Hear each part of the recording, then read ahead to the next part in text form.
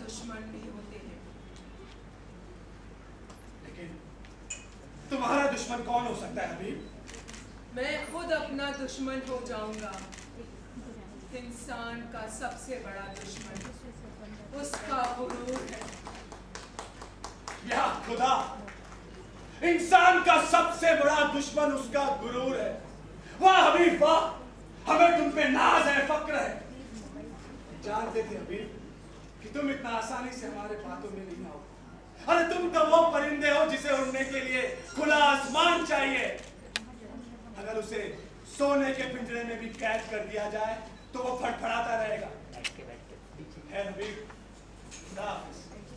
अपना ख्याल रखिएगा।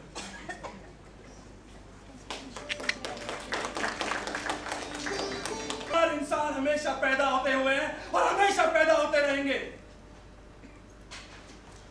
खुदा न करे हबीब, कभी तुम्हें कुछ हो गया। तो इस सल्तनत का क्या होगा अभी? और फिर हमें भी अपने सीने में खंजर चुबा देने के अलावा कोई रास्ता नहीं बचेगा। नहीं जानते हो अभी? तुम नहीं जानते हो कि हमने तुमसे कितना फैसला हमें सिखाया है।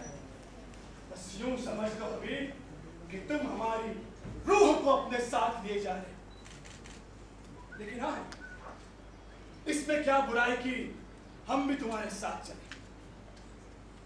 हुजूर मुझे आपकी ज़रूरत महसूस नहीं होती। अगर होगी तो मैं आपको इतला करा दूँगा। ठीक है अभी जैसा तुम चाहो। लेकिन हाँ रोज़ाना खत लिखते हैं। वरना हम बेचैन होकर वहाँ पे पहुँचे तैमूर ने बड़ी मोहब्बत से हबीब के खुद तो नहीं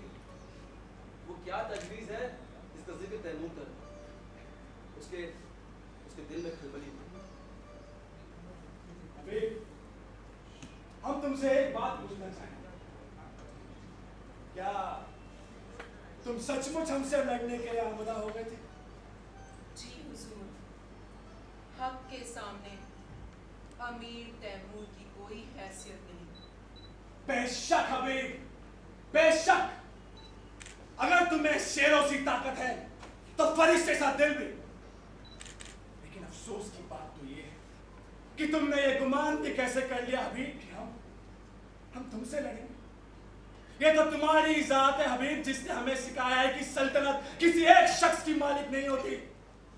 बल्कि वो तो एक ऐसा दरख्त है जिसका हर एक शाख और हर एक पत्ता एक सी खुराक पाता है एक सी।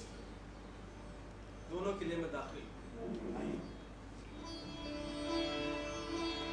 नहीं चीज़। हमने आप सभी लोगों से जबरन छीन ली थी। उसे आप लोगों को वापस लौटाकर हम कोई नेक काम नहीं कर रहे इससे अच्छा तो यह है कि आप हमें गालियाँ लानत दें। लेकिन आज आज हम आप सबके सामने एक चीज़ का ऐलान करते हैं। आज से आप अपने मालिक हैं। हम आपको आपके सभी हक वापस देते हैं। आपकी सल्तनत